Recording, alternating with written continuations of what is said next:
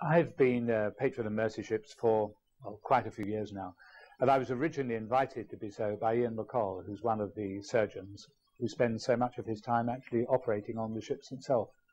And he explained to me what the charity was about, and it seemed to me it was a unique charity with a unique ethic and facing a particularly unique need, and so I was immediately attracted to it, and I've enjoyed the experience ever since.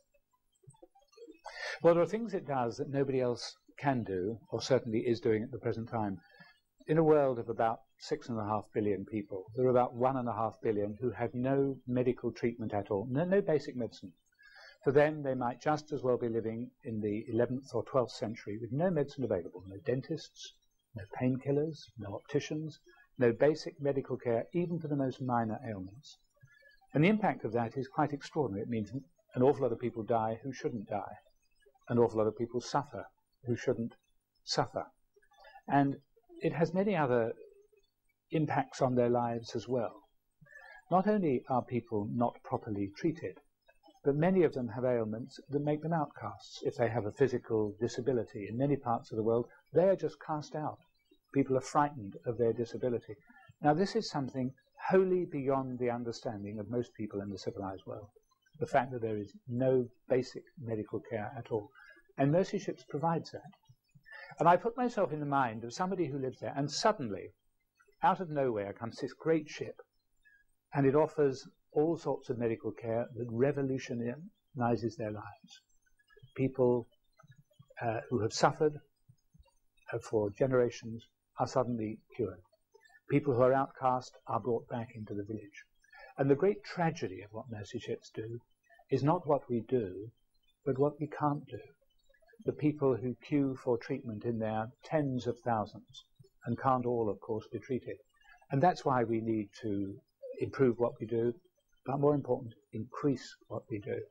And I think anyone who saw what Mercy Ships did and wasn't moved by it would have no soul at all. Unfortunately, this uh, problem of people getting no medical care isn't just in an isolated place. It's in all sorts of poor parts of the world. And the beauty of the Mercy ship is that it is mobile. You have this huge ship with a large number of operating theatres, a large number of staff, medical staff, all of whom incidentally are volunteers and unpaid.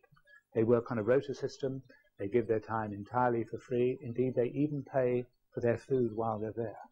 But the ship moves round to where it perceives uh, the most important need and is able to treat people there.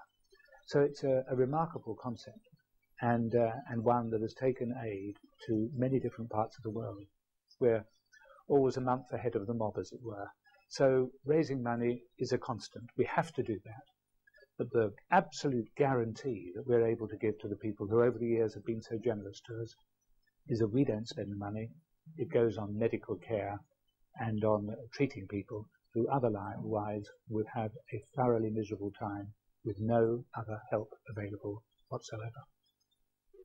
I think Mercy Ships is unique, not only because of what it does, but it has a unique ethic, it faces a unique problem, and it deals with it in a unique way. I know of no other charity who approaches the problems of health in that fashion.